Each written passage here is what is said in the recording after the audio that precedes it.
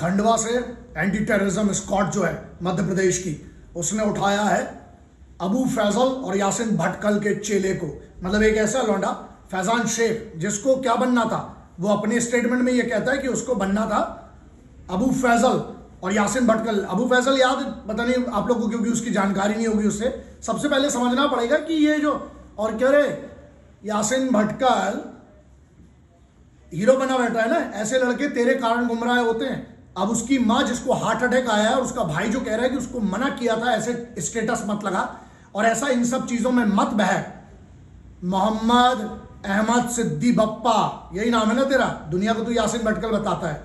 हाँ? एनआईए ने उठाया तो इसको नेपाल से। हाँ कहानी अच्छी है कि बिहार पुलिस का एटीएस का ज्वाइंट ऑफ़िस था और एनआईए का था, वो लेकिन नेपाल से उठा के लाए थे ना तेरे को।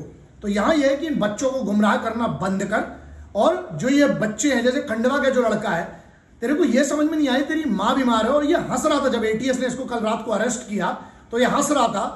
तो एटीएस के एक अधिकारी ने एक बात बोली थी कि तुमको आप लोग क्यों रो रहे हो? वो हंस रहा है। बड़ा कारण ये कि हमें यह समझना पड़ेगा कि यह हंस क्यों रहा है। तो उसके लिए ये बड़े गर्व की बात हो गई। तो ये एक बड़ा प्रश्न। दूसरा यहाँ पर आता है कि 2008 2010 2013 तीन पुणे ब्लास्ट दिल्ली के सीरियल ब्लास्ट उसके बाद पुणे जर्मन बेकरी में यासिन तू इन्वॉल्व था, और उसके बाद 2013 है ना? हैदराबाद।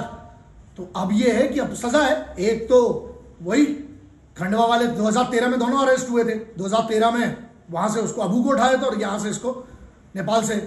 तो यहाँ मुद्दा ये करता है और यहाँ जो मैटर है, जो कंसर्न अपने बच्चों को, क्या स्टेटस पे कर रहे हैं, क्या लगा रहे हैं, उनकी, इसकी माँ को ना लड़के को जिसको अरेस्ट किया कल, इसकी माँ को हार्ट अटैक आ चुका है, इसलिए उसको घर से नहीं निकाला, इसका बड़ा भाई बोल रहा है ये बात। तो ये और ये मत भूलो कि यही एटीएस जिसने इंडियन मुजाहिदीन को घुटनों पे ला दिया और सिमी को। खंडवा क्यों इतना बड़ा गढ़ रहा है, इतने लंबे समय से? 2000 2002 2003 में बनी थी और वहाँ से लेके अभी तक इतना मेहनत के शहीद हुए एटीएस के लड़के।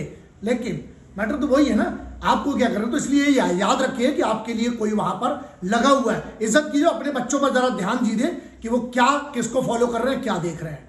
जय हिंद वंदे मातरम इंकलाब जिंदाबाद भारत माता की जय।